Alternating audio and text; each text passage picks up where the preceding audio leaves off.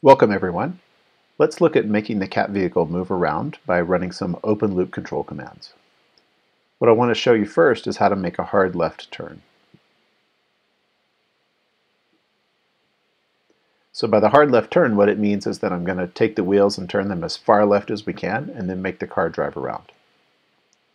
So that's what we're going to show you in this tutorial. Notice that the control is open loop, that is, we're not reading data that comes from the sensor and making a decision. We're actually just telling the vehicle, go at such and such meters per second and turn your wheels all the way to the left. And then when you're done, stop it.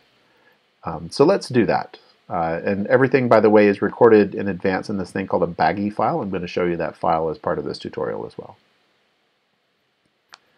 let me demonstrate to you that we still have the, the tutorial running from earlier where I was showing you how to um, visualize data from the neighborhood in RViz. So I've started up the cat vehicle in the neighborhood, and those are the things that we're doing here. I've already got this running, already have RViz running, and we can see a bunch of data in RViz. The next thing I want to do is go make a new tab, which I've already got here, and I'm going to go into the source cat vehicle source tests open loop directory. So cd source, cat vehicle, source, tests, open loop. So in this directory, I only have two files. One is this hard left shell script, and the other is this bagy file. So let's look and see what it says in the hard left dot shell script.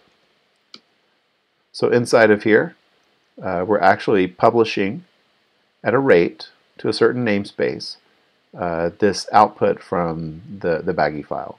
So we're publishing these data at 100 hertz, uh, which means that whenever we see uh, information in the bag file, we're going to push it out, and then one hundredth of a second later, we're going to get the next data point and push it out as well. So let's look at that bag file, hard left dot bagy. So this isn't actually a bag file. Uh, it's what's known as a YAML file, yet another markup language, YAML. And we see that it's we've got this sort of JavaScript looking thing where uh, we have a structure called linear, which has x, y, and z, and then x has a value of 3, y and z have values of 0. And angular, x, y, and z, so we have 0, 0, and then 1. So the angular value of 1 tells that we want to set the angle of the tires to be 1 radian. Um, and here, the linear value of 3 says that we want to move at 3 meters per second. So there's a bunch of lines in here, 15,522 lines. So if we divide that by 7, that gives us, you know, right around uh, 2,000 or so lines. Um, and then each of those 2,000 or so lines contain, or 2,000 or so commands, um, each of those 2,000 or so commands is going to last about a tenth of a second. Uh, and so we can imagine this is going to take about 20 seconds to run this whole tutorial. So let's try it. Dot slash hard left dot sh shell and as soon as I press enter here, I'm going to tab over to RViz and we're going to watch the car pull forward. We can also see what's happening in Gazebo, that the car is pulling forward and turning left. So again, you can see here what it looks like in actual 3D.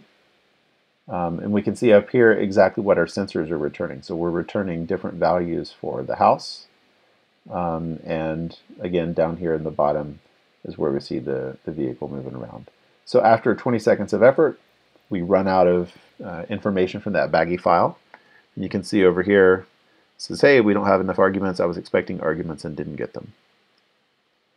So that shows you how you can make the car move around just to see different kinds of information flow through the sensors.